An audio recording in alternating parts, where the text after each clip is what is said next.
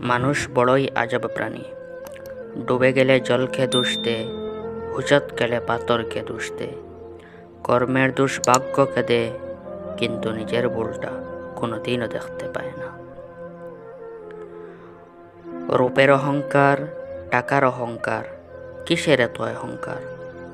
অহংকার করা স্রষ্টাকে মানায়, সৃষ্টিকে নয়। নিজেকে গাছের মতো বিছিয়ে দিও না যাতে সবাই তোমার উপর দিয়ে হাঁটে। নিজেকে আকাশের মতো মেলে ধরো, যাতে সবাই তোমার নিচে আশ্রয় পায়, অথচ তোমাকে ছুতেও পারে না।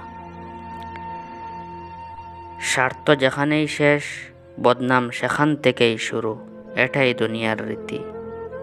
আপনি কাউকে দিতে পারবেন যতক্ষণ, ভালো থাকবেন ঠিক ততক্ষণ। পাশে দাঁড়িয়ে ভরসা দেওয়ার লোক নেই। সামনে দাঁড়িয়ে পথ দেখানোর লোক নেই। কিন্তু পিছনে দাঁড়িয়ে সমালোচনা করা লোকের অভাব নেই।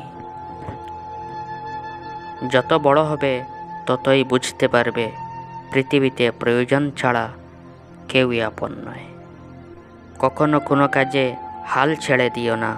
মনে রেখো, কাজটা যদি সহজ হতো, তাহলে সবাই করত। জ্ঞানীরা আগে চিন্তা করে, পরে কথা বলে। আর নির্বুদরা আগে কথা বলে, পরে চিন্তা করে।